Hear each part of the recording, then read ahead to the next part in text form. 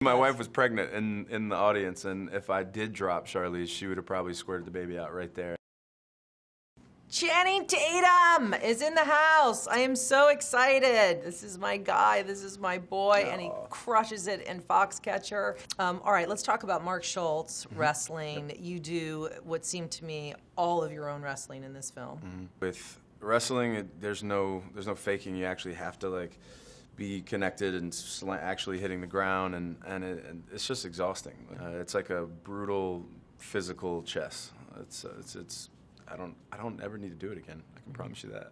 Um, what can you tell us about Mark Schultz? Because this is based on a true story. It- These wrestlers had hard lives. They Yeah. had very, very hard life. And Mark had a hard life before wrestling and during wrestling just to try to survive and pay bills and Mm-hmm. eat and compete. And I think I think Mark, at the time DuPont came into his life, um, was really in need of Right, someone yeah. to just see him and to shine some light on him. Um, this movie premiered at Cannes. How did that feel?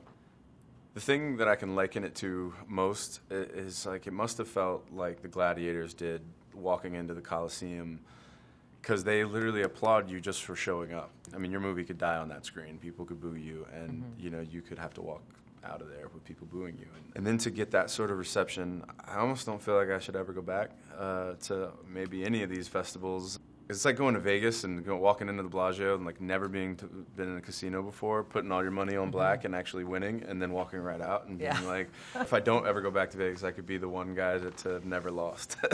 so it, it's extraordinary. Um, father, Yeah.